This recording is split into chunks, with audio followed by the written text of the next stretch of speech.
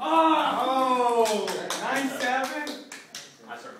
I know. God, if I give it to you, you'll just serve it. Who's up?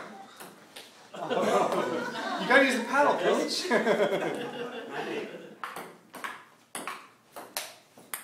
oh, boy. It gets him angry. Oh. Richard, post game interview. How did you feel about that? Richard, how long has it been since you've held a paddle? It was an unofficial uh, game, you said before. Two years. Was he easy to beat? Oh, yes. Next time I'll play with my right hand.